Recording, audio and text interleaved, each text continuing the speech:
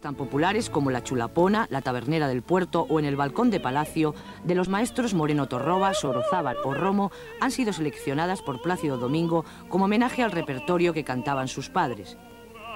Y en esta ocasión he querido em, que sea un repertorio que esté bastante eh, próximo al repertorio que cantaron mis padres, en especial mi madre, que como saben ustedes, eh, tuvimos la gran pena de perderla en el mes de agosto. Plácido Domingo estará acompañado por la soprano Ángeles Blancas y el barítono Manuel Lanza, habituales ya en esta gala, y dos nuevos cantantes, el barítono italiano Stefano Palacci y la soprano María José Montiel.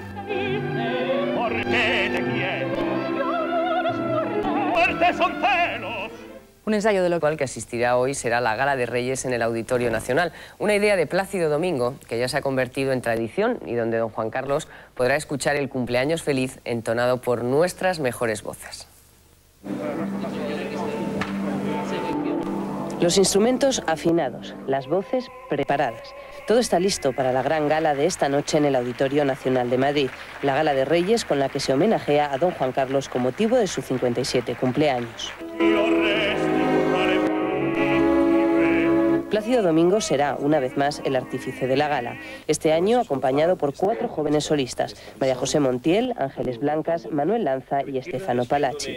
En el repertorio, Zarzuela, una sinfonía con obras de Guerrero, Romo, Solozábal y Moreno Torroba, en recuerdo de la madre de Domingo, la soprano Pepita Embril, quien falleció el pasado mes de agosto. Y es que el tenor español está decidido a que la zarzuela se ponga de moda en todo el mundo, como bien demostró este año en Chicago.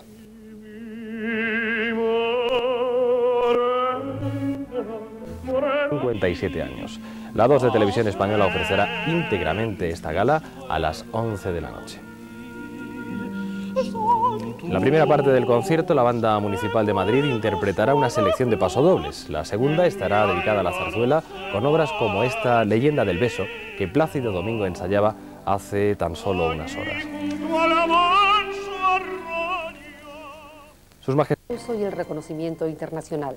La música es la razón de su vida, pero Plácido Domingo también da su mejor do de pecho en su faceta más humana y personal.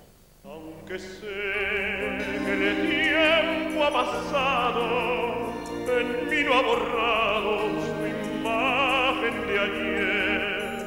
Nació con una voz prodigiosa y su fuerza de voluntad le dio una técnica única lo que hizo que este madrileño universal se convirtiera en una de las figuras musicales emblemáticas de este siglo.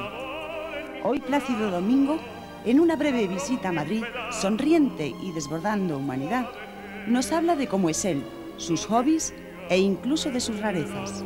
Yo creo que soy una persona bastante, bastante cerca de lo, de lo que se ve en el escenario, alguien que, que vive la vida con una entrega y espontaneidad total, es decir, eh, mi entusiasmo eh, no, tiene, no tiene fin, no tiene límites, es, eh, quiero tanto esto como el día que debuté, tengo unas ansias de novillero tremendas, no vamos a decir de novillero hasta de espontáneo.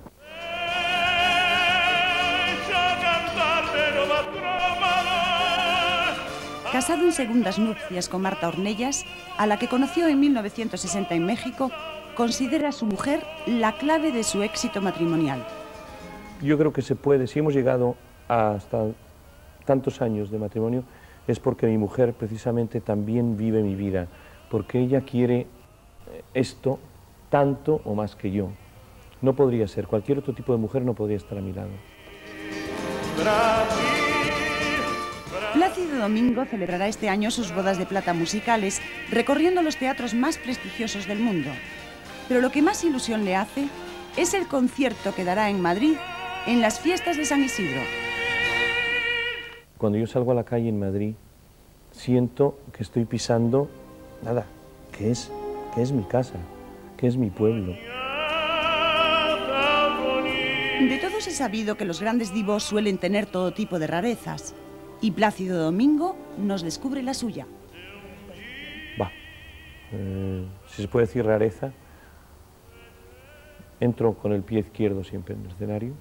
Si tengo que subir una escalera, la subo con el izquierdo. Si tengo que llegar a un lugar, si puedo concentrarme en ese momento, hacerlo, me gusta con el pie izquierdo.